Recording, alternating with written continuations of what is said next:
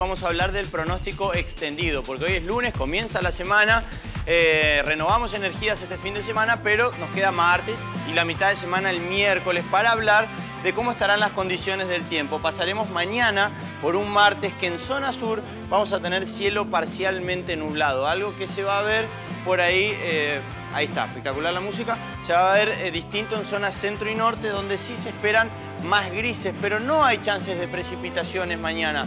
¿sí? Áreas de nubosidad intensa sí van a ingresar, pero eh, vamos a tener mayor presencia del sol en zona sur. Eso es el martes, temperaturas mínimas entre los 21 en zona sur y 31 máxima provincial en Candelaria. Mañana, mucho calor en el sur, en tanto que en el centro con más grises, 20 la mínima, 30 la máxima. Y la mínima provincial, mañana martes la vamos a encontrar en San Antonio con 17 grados y máximas de 27.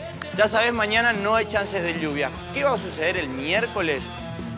Sí vamos a tener chances de precipitaciones porque áreas de inestabilidad van a estar generando lluvias y tormentas en zona sur con eh, eh, cúmulos de hasta 25 milímetros, temperaturas mínimas 23, máximas de 27, también máxima provincial, esto es en San Ignacio. En tanto que la zona centro tiene chances de chaparrones, Lluvias y tormentas en el sur, chaparrones en el centro, 21 la mínima, 26 la máxima y el norte solamente nublado, sin chances de precipitaciones, 20 la mínima, 26 la máxima, 20 mínima provincial en Bernardo de Irigoyen. Estas son las condiciones y reitero, miércoles puede llover hasta 25 milímetros en el sur, 15 o 10 en el centro y no llueve en zona norte tanto mañana, martes, como el miércoles. No se esperan precipitaciones hasta el momento.